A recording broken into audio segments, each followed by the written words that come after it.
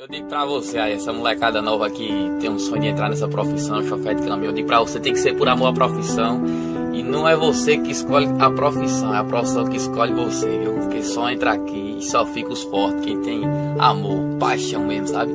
Que enfrenta toda dificuldade, mas sempre tem um tiquinho ali pra estar tá com os momentos de felicidade. Sabe aquela dificuldade, mas com vontade de superação, que não fica se reclamando porque toda profissão tem sua dificuldade. Por isso que eu digo pra você, nego, velho.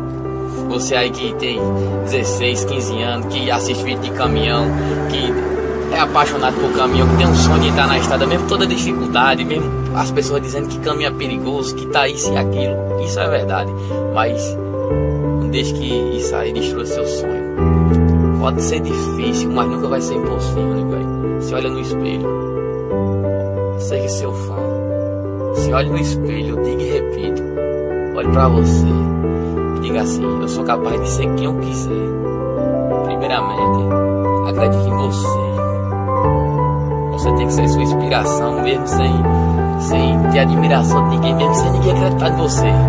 Muitos dizem que você é um zero à esquerda, que você vai conseguir, que você vai conseguir dar uma ré, não vai conseguir fazer um frete, não consegue fazer um horário. Deixa o povo dizer que é coisa do mal coisa do mal assim mesmo, para te motivar, aquela parte do mal.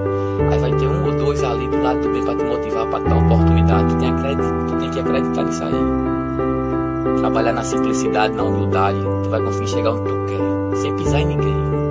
Porque se tu planta o bem, tu vai colher o, tu vai colher o bem. Se tu planta o mal, já sabe a consequência como vai ser?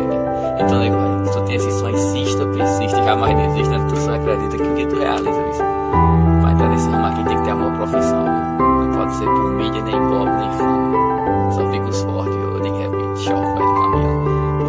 Porque quem tá de lá não vê a realidade de cá. Só quem tá aqui